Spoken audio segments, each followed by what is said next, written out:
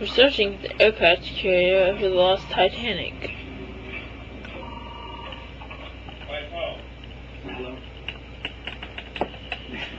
going to hear your voice too. I would have come to see